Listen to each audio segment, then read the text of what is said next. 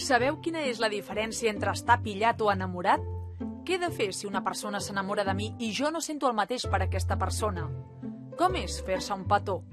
Les respostes a aquestes preguntes les trobareu a Explica-m'ho tot, un bloc il·lustrat per satisfer ments curioses de 5è i 6è de primària.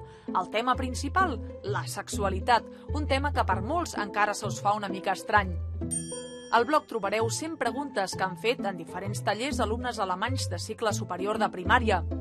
Els tallers els fa l'autora del llibre Caterina von der Gatten, que és educadora sexual. Els alumnes van escriure en un paperet i de forma anònima els seus dubtes, com per exemple aquests. La pubertat és dolenta? El penis es pot trencar? La vulva canvia quan et fas gran? A quina edat surt pèl al pubis?